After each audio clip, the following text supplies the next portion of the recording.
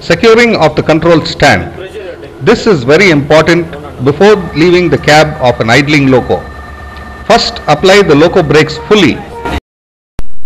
Ensure the BC pressure goes to 5 kg per centimeter square.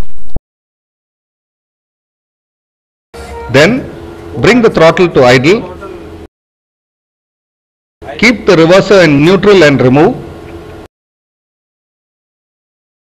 Keep the ER and GF off. And isolation switch should be put to isolate position.